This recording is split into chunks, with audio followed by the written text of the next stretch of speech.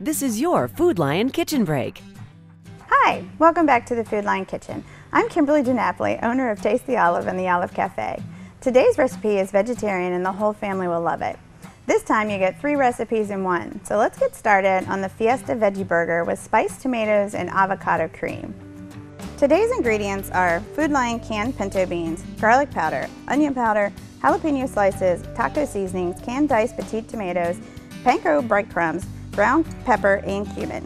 My essentials canned corn, eggs, salt, and hamburger buns, along with Tasty olives, Chipotle extra virgin olive oil, jalapeno white balsamic, and lime fused extra virgin olive oil, along with chopped onion, cilantro, and garlic.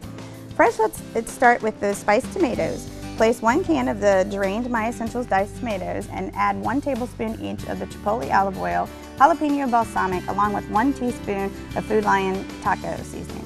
Mix well, then salt and pepper to taste and set aside. For the burgers, place two cans of pinto beans that have been rinsed and drained in a large bowl. Then mash well.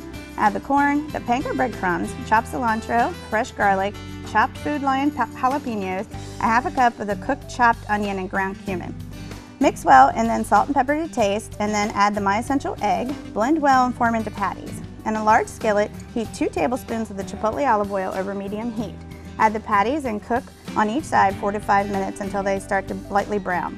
I have made the avocado cream ahead to save a bit of time, so for this part of the recipe you need to check out the Food Lion Kitchen on WECT.com. Once the burgers are done, place on the hamburger buns, top with a tablespoon of spiced tomatoes and a dollop of the olive avocado cream, then serve. For this recipe and more, go to WECT.com and click on the Food Lion Kitchen link. See you next week with a brand new recipe. This has been your Food Lion Kitchen Break.